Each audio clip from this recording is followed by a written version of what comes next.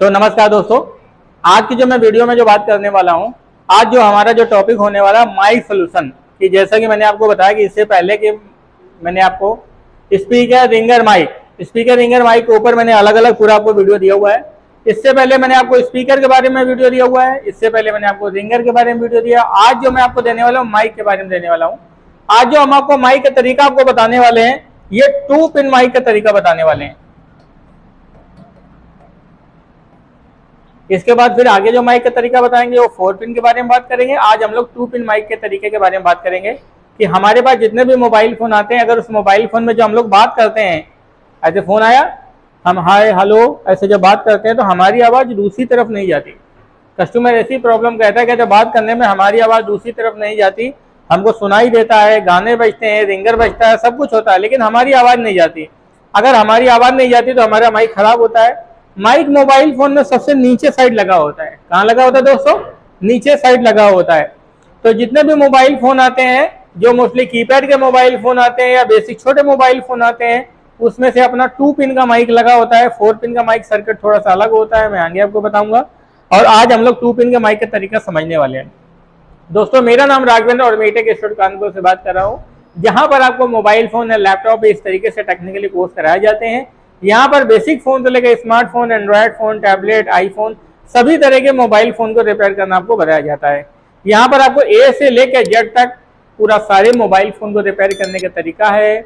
उनको हार्डवेयर से, उनको सॉफ्टवेयर से, बिल्कुल बेसिक लेवल से लेकर हम लोग एडवांस लेवल तक की कंप्लीट ट्रेनिंग सिखाते हैं। और आप जितने भी सारे जो दूर के बच्चे आना चाहें तो बिल्कुल ट्रेनिंग सेंटर को आकर के ज्वाइन कर सकते हैं। और ये सारा जो टॉपिक मैं आपको वीडियो बना करके डालता हूँ, ये सारा हमारा अपना डेमो वीडियो होता है। ताकि हम आपको डेमो वीडियो के माध्यम से हम चाहते हैं कि जो हमारे बच्चे आज मोबाइल फ़ोन रिपेयरिंग में काम कर रहे हैं, जो ऐसे स्टूडेंट है जो मोबाइल फ़ोन रिपेयरिंग की अपनी दुकान तो कई साल से चला रहे हैं, लेकिन उनको मोबाइल फ़ोन रिपेयर करने में कहीं ना कहीं प्रॉब्लम आती है।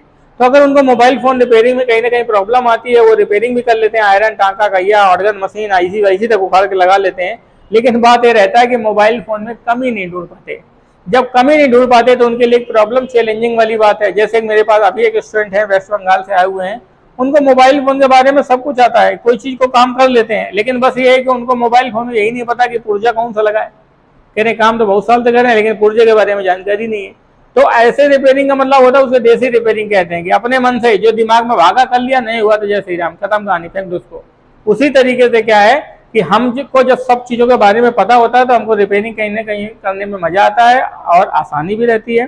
तो दोस्तों, ये सारा वीडियो हम आप ही लोगों के लिए हेल्पफुल वीडियो दे रहे हैं। इसमें से बहुत सारे ऐसे स्टूडेंट हैं जिन लोगों ने इसके के माध्यम से सीखा है और सीखने के बाद कुछ ऐसे लोग हैं जिन लोगों ने ऑनलाइन के लिए भी ज्वाइन किया है। कुछ लोग ऐसे हैं जो अपना ट्रेनिंग सेंटर पर आ करके मोबाइल फ़ोन रिपेयरिंग की कंप्लीट ट्रेनिंग भी ले रहे हैं, ताकि उनका प्लान है, पूरा फिक्स प्लान है कि हमको मोबाइल फ़ोन रिपेयरिंग में काम करना है, अपना बिज़नेस करना है, अपना बिज़नेस करना है, अपना बिज़नेस करना ही है। तो चलिए हम लोग दोस्तों चलते हैं अपने माइक सोल्यूशन अपने टॉपिक के ऊपर। कि माइक को कैसे रिपेयर किया जाता है, इसे रिपेयर करने का तरीका क्या होता है, इसके बारे में मैं आज आप इसको स्टेप बाय स्टेप आपको वीडियो देता हूँ। तो मेरे पास माइक का जो प्रॉब्लम आता है माइक पहली बात जो कनेक्शन होता है, वो पावर आईसी से होता है। कहाँ से होता है दोस्तों? पावर आईसी से होता है। माइक के जो ट्रैक होते हैं, वो भी दो तरीके के होते हैं। टू पिन का माइक जो होता है, उसके ट्रैक दो तरीके से होते हैं। मैं आपको दोनों तरीके के ट्रैक के बारे में आपको समझाता हूँ। सबसे पहला तरीका होता है कि माइक में एक लाइन होती है। इसके लाइन में ऐसे कंपनी के रजिस्टेंस लगाती है। फिर कंपनी के डायोड लगाती है। फिर कंपनी कैपेसिटर लगाती है। फिर सप्लाई आगे ले जाती है। दूसरा ट्रैक होता है। सेम इसमें भी कंपनी ऐसे रजिस्टेंस लगाती है। फिर इसमें डायोड लगाती है। फिर इसमें कैपेसिटर लगाती है, फिर आगे ले जाती है। अब यहाँ पर जो आपका माइक अटैच होता है, एक माइक में तुम्हारा ऐसे रेड वायर होता है। दूसरी बात क्या होता है माइक में तुम्हारा दूसरा तार होता है, जो ब्लैक तार होता है। एक तार तुम्हारा रेड होता है, दूसरा तार कैसा होता है ब्लैक होता है। अब यहाँ पर बात यह कहने वाली आ जाती है कि एक तार जो रेड वाला होता है, ये तुम्हारा पॉजिटिव का लाइन होता है, एक तार जो ब्लैक वाला होता है, ये तुम्हारा निगेटिव का लाइन होता है। ऐसा होता है। लेकिन कई माइक ऐसे भी पाए जाते हैं, जिसमें सर ऐसा भी सिस्टम होता है, जो सेम सिस्टम है, ये तो है ही। जैसे डिट्टो, बिल्कुल सेम सिस्टम ये सेम बिल्कुल सिस्टम बिल्कुल, जैसे दिया हुआ है, वैसे दूसरा सिस्टम है। लेकिन बस फ़र्क क्या हो जाता है कि इसका जो माइनस वाला जो ट्रैक होता है, ये सर माइनस वाला ट्रैक यहाँ से ना हो करके ये माइनस वाला ट्रैक पूरा आपका अपना ग्राउंड हो जाता है। क्या हो जाता है? ये सर आपका पूरा ग्राउंड हो जाता है निगेटिव हो जाता है। एक ट्रैक जो होता है जो माइनस का होता है, जो आईसी के द्वारा ही चलता है। दूसरा ट्रैक जो होता है, वो माइनस का ट्रैक क्या हो जाता है? ग्राउंड हो जाता है। मैंने देखो सर आपको दोनों ट्रैक बताए जो दोनों ट्रैक वो, जो आईसी से डायरेक्टली कनेक्ट होते हैं, दोनों ट्रैक वो, जिसमें से एक ट्रैक तुम्हारा ग्राउंड हो जाता है, एक ट्रैक सप्लाई का होता है मतलब एक ही लाइन होता है, एक लाइन तो तुम्हारा ग्राउंड ही हो गया। अगर उसका खराब हो जाता है तो आप ग्राउंड पे भी जोड़ देते हो तो भी आपका माइक काम करना शुरू कर देता है। चलिए हम दोस्तों, हम बात करते हैं कि माइक को हम लोग चेक कैसे करेंगे। माइक को चेक करने का तरीका क्या है? ये ट्रैक वन ये ट्रैक टू हम लोग वन, टू दोनों के स्ट्रेटजी को समझते हैं, दोनों के तरीकों को सीखते हैं। यदि आपके पास कोई भी मोबाइल फ़ोन आता है, उसमें माइक काम करना बंद कर देता तो सबसे पहले आप काम करेंगे मोबाइल फ़ोन खोलेंगे। मोबाइल फ़ोन खोलने के बाद आप माइक को साफ़ करें। माइक को साफ़ सुफ करने के बाद उसको क्लीन करें। क्लीन करने के बाद नहीं सही होता माइक को चेक करें। माइक टू पिन माइक की जो टेस्टिंग होती है, उसको जब आप चेक करेंगे मल्टीमीटर को भी पॉइंट को सेट करके चेक करेंगे तो एक तरफ़ से वैल्यू आएगी, एक तरफ़ से वैल्यू नहीं आएगी। जो एक तरफ़ से तुमको वैल्यू मिलेगी, ये समझेंगे आठ से लेकर के सोलह वैल्यू होगी। अगर 800 से लेकर 1600 के बीच में वैल्यू आती है तो इसका मतलब माइक आपका ओके है। चलिए मैं वैल्यू भी लिख देता हूँ। ये माइक की वैल्यू कितनी होने वाली है दोस्तों? 800 से लेकर के 1600 अगर यहाँ पर 800 से लेकर 1600 के बीच में वैल्यू आती है तो माइक की वैल्यू परफेक्ट होती है। माइक अच्छा तरीके से काम करता है। आपकी टकाटक साफ़ सुथरी आवाज़ जाती है। अगर 800 से वैल्यू थोड़ा सा कम हो जाती है 600 हो जाती है 500 हो जाती है, इससे समस्या ये आती है कि आवाज़ बहुत मद्दी मद्दी जाती है, हल्की आवाज़ जाती है। तो कस्टमर कहता है, भाई माइक बदल दो, बहुत हल्की आवाज़ जा रही है, समझ में नहीं आ रहा है। माइक को चेंज कर दीजिए। आपने नया माइक लगा दिया। अच्छा ये जो माइक अपना चलता है, ये तुम्हारा यूनिवर्सल माइक है। कैसा माइक है भैया? यूनिवर्सल माइक है। अगर ये माइक खराब हो जाता है तो माइक को सबसे पहली बात चेक करें साफ़ सुफ करें, माइक को चेंज कर दीजिए। माइक आपने चेंज कर दिया, आपकी प्रॉब्लम क्या हो गई? सही हो गई।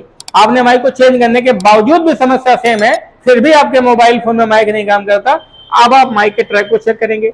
माइक का जब ट्रैक चेक करेंगे तो माइक के ट्रैक में ऐसा होता है कि एक ट्रैक होता है जिसमें वैल्यू आती है, एक में वैल्यू क्या होता है? आ करके चली जाती है। मतलब वैल्यू आएगी वैल्यू आकर के चली जाएगी। कई बार ऐसा होता है, हमको दोनों ट्रैक में वैल्यू मिलती है। अगर वैल्यू मिलती है तो वैल्यू मिलने से हमको ये पता चलता है कि हमारी ट्रैक की कनेक्टिविटी बिल्कुल ओके है। अगर माइक में वैल्यू नहीं मिलती तो हमको इसको ये समझ में आता है कि हमारी ट्रैक की कनेक्टिविटी ओके नहीं है। तो चलिए दोस्तों, जैसा कि मैंने आपको बताया कि माइक के ट्रैक में हम लोग चेक करते हैं, अगर यहाँ पर वैल्यू आती है तो लाइन ओके अगर मान लिया वैल्यू नहीं आती इनकेस तो हम लोग क्या करते हैं मल्टीमीटर के एक पिन को रखते हैं, फिर उसके बाद सामने उसके ट्रैक में ये चेक करते हैं कि इसके ट्रैक में क्या क्या लगा हुआ है।